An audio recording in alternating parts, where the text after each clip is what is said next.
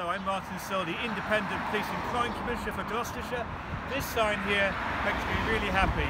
So let's go inside and I'll tell you why. So we're here at the reception. It is open, it's a trial, so please get out and use it. Lydney, you know, this is your reception, your police station. I just met the police. They love it here. They're great to be back.